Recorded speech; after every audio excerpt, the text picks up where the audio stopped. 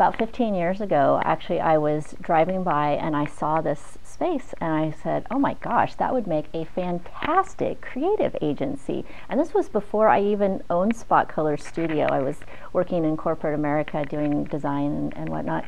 And um, then about four years ago, I ended up um, here in this building, and I was in a small little space upstairs uh, with my creative director, and I and I told the landlord, I said, "Oh my gosh, this you know, it's, it's kind of tight in here. And if something larger opens up, can you let me know? And he's like, oh, well, the big space opened up, but you don't want that. And I'm like, the big space? It's like, I have wanted the big space for 15 years. So anyway, um, it's just one of those things. Sometimes you kind of put some stuff out there and um, it, it, it comes true.